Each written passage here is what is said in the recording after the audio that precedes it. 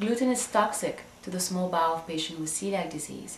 It causes inflammation and destroy the lining of the small bowel and prevent absorption of nutrients and vitamins and causes a symptom seen in patients with celiac disease such as abdominal pain and diarrhea, malnutrition and malabsorption.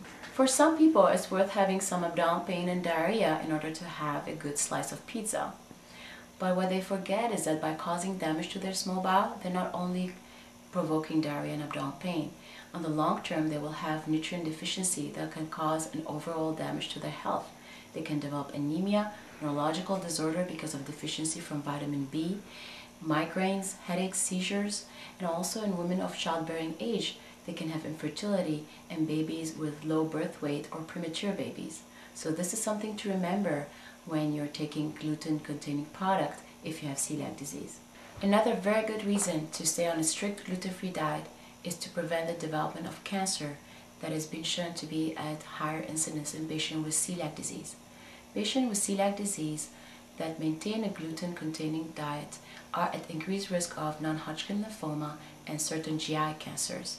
On the other hand, if you have celiac disease and you stay on a strict gluten-free diet, that risk of cancer will go away.